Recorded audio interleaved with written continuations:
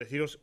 para todos los vecinos que dirán dónde pueden hacerse con el programa de fiestas, que a partir ya de hoy se van a repartir los 7.500 ejemplares de este libro de fiestas, que es totalmente gratuito para todos los vecinos y, vecinas de, la villa y que se van a poder recoger pues, en los lugares habituales, que sobre todo son aquellos en los que están los edificios municipales. Es decir, aquí el que quiera disponer de un libro de fiesta lo va a poder recoger bien en el Centro Cultural Santa Clara, en la Biblioteca Municipal, en el Ayuntamiento propio de, Portugalete, en la Oficina de, de Turismo en la oficina de atención ciudadana que está en la plaza de, San Roque, en el polideportivo Pando Aisía, en las piscinas del muelle de, Churruca, en cualquiera de los centros sociales que hay en todos los barrios de,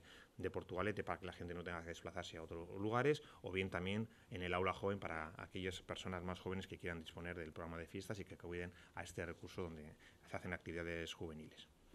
También deciros que, como es tradicional, antes, unos días antes de las fiestas patronales de San Roque, repartimos un tríptico desplegable donde viene la programación de todos los días de las fiestas de, de, San Roque con todas las actividades y horarios. Son 30.000 ejemplares que también repartimos gratuitamente en los lugares eh, tradicionales de la villa para que cualquiera pueda llevar, en vez del libro de fiestas, pues ese tríptico en el que se mete en el bolsillo y tienes todas las actividades, todos los horarios para que puedas también programar o participar y de alguna forma no perderse ninguna actividades importantes que a los vecinos y vecinas les, les, les interesa. Decir que, como siempre, nuestras fiestas patronales empezarán con el tradicional chupinazo, que será a las 8 y cuarto desde la balconada del Ayuntamiento de, de Portugalete, el 14 de,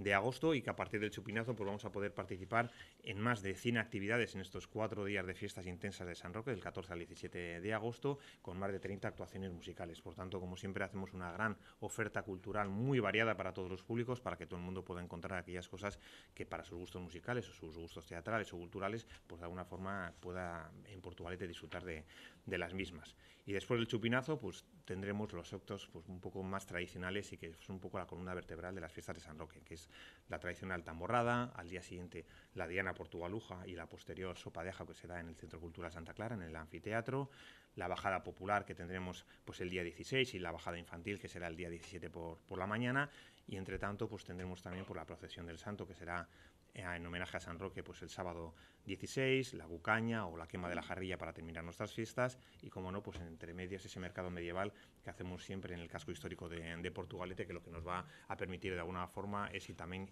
involucrarnos en la historia de nuestra villa intentar que de alguna forma sepamos que somos una villa medieval con una gran historia con más de esos 700 años ya de historia y que por tanto también hace las delicias y es del, agrado de todos los vecinos y, de las vecinas. Tendremos, como no, pues el concurso de, bacalao, la degustación de productos típicos con la sidra, el chorizo, la morcilla, etcétera, etcétera, y también por la exhibición de deporte rural vasco, que también pues, es una de las actividades que más se ha enraizado en las fiestas de San Roque, que acude mucha gente a verlas y por tanto, bueno, pues la animaremos con nuestras tradicionales también calejiras, con fanfarrias, triquitisas y, como no, con chistularis. Pues como ha dicho el alcalde, van a ser 30 actuaciones musicales entre fiestas y prefiestas, las que vamos a poder disfrutar con diversos, diferentes estilos musicales, además de las tradicionales fanfarrias y calejiras que tenemos durante los, días de fiestas por las calles de, de la villa. Como sabéis, tenemos tres espacios musicales, que son la Plaza San Roque, el Kiosco de la Música y la Esplanada de Rialia. En la Plaza San Roque empezaremos el 14 de agosto con el grupo navarro Rumbo Tijuana, que es un grupo musical de siete artistas eh, con experiencia en la música mexicana. Lo que hacen es versionar canciones del pop de los 80 y los 90 y algunas otras eh, canciones a los corridos mexicanos. El 15 de agosto tendremos por la tarde la quinta edición del concierto de Chistularis de Portugal, que empezamos hace cinco años a realizar y que tiene muy buena acogida. Y por la noche, bueno, pues va a ser el momento del humor con el show de Asier Bilbao. El 16 de agosto vamos a tener una banda catalana que es un tributo a la música de los 80, se llaman Los 80 Principales, y bueno, pues van a repasar algunas de las mejores canciones de, esa década, tanto a nivel nacional como internacional. Y el 17 de agosto en San Roque, bueno, en San Roque, no en Lojillo, tendremos los bailables con la banda municipal de, de música. En el espacio de Rialia, en la esplanada de Rialia, empezamos el 14 de agosto, tenemos dos actuaciones, a las 9 y media eh, tendremos a Carlos Jean, el famoso DJ, que va a presentar un show con éxitos en un estilo innovador. Y seguido vamos a tener el grupo valenciano Bombay, que es eh, sonidos de pop rock con un toque de reggae. Es un grupo fresco y divertido que yo creo que a la gente joven eh, pues le va a gustar porque anima mucho a, bailar. El 15 de agosto le toca el turno a Bulego, al grupo de Ascoitia, es la nueva propuesta musical de pop Escaldún y se han hecho crecer mucho con el debut de, en el 2021 de su primer disco. El 16 de agosto tenemos al grupo madrileño Los Secretos. Bueno, pues no creo que tengan presentación, es una auténtica leyenda en la música española, en el pop español. Y bueno, muchos de nosotros, los que tenemos alguna cierta edad, ya hemos cantado y disfrutado de todas sus canciones en estos 40 años que tiene de vida la banda.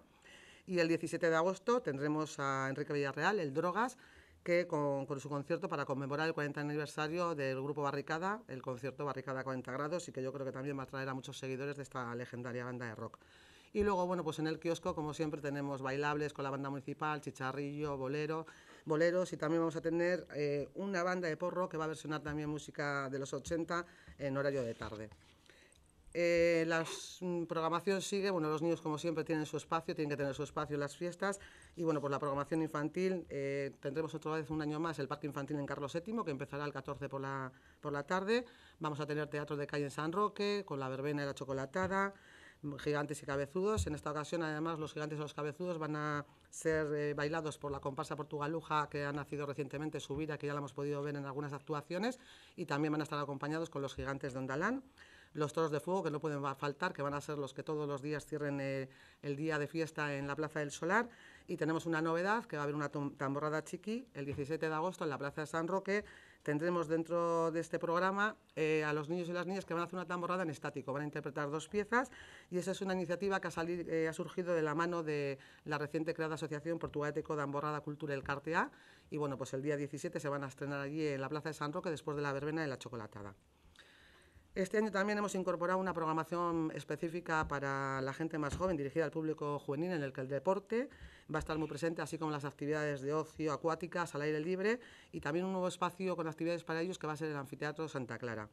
Así la gente, los más jóvenes, van a poder disfrutar de actividades acuáticas como Big y piraguas en la ría, paintball en la esplanada de Rialia. Y luego en el Centro Cultural de Santa Clara van a tener los días 15, 16 y 17 de agosto tres actividades el primer día eh, vamos a contar con una batalla de gallos con los jarrilleros, eh, lo están haciendo unos chavales de Portugalete que se llaman Punta Norte. El 16 de agosto vamos a tener un taller de TikTok y exhibición de danza urbana a cargo del grupo DENA de Bilbao. Y el 17 de agosto van a tener también un taller de caporeira con la Asociación Portugaluja a Tabaque. Además, el deporte y los torneos juveniles van cogiendo fuerza en las fiestas patronales. Un año más va a volver, eh, vamos a, retomamos el torneo de fútbol sala que empezamos hace tres años y que tiene muy buena acogida, que tuvimos que ampliar las inscripciones para menores de 15 años porque eh, se llenaron todas las categorías. Pero además este año también, en colaboración con las entidades deportivas del municipio como Jarrillos Fútbol Sala, eh, Club Guretal de Maitenesa y los clubs Oribelche Jarrilleros, va a haber torneo de pádel, torneo de tenis mesa y torneo de básquet, todos ellos torneos populares que se van a celebrar en el Polideportivo Zubialde entre los días eh, del 7 al 12 de agosto, unos y otros del 11 al 14 de agosto. Consolidamos actividades que incorporamos hace unos años por la buena aceptación que tienen, como la Euskal que será el 15 de agosto, eh, con exhibición de deporte rural, degustaciones de chisto, y chacolí y con una romería a cargo del grupo portugalujo Ikusgarri de Anchata Y luego, bueno, pues tenemos los fuegos artificiales que no pueden faltar, que son el 15 y el 16 de agosto, que este año también presentan una novedad. Vamos a innovar con una nueva apuesta, a ver qué tal funciona y a ver si gusta. Concretamente, el día 16 de agosto vamos a ofrecer un espectáculo diferente, es un espectáculo musical donde se ejecutan piezas musicales sincronizadas al ritmo de la tirada de los fuegos artificiales. Y el día 15 de agosto ya tendremos una tirada tradicional de fuegos con una pirotecnia valenciana. Y bueno, pues a grandes rasgos, como ha dicho el alcalde, este es el programa. Luego tenemos las actividades de prefiestas eh, que organizan y de fiestas que también organizan Portugaleteco Cuadrillas y Chos Navachordea. Eh, desde Portugaleteco Chos Navachordea,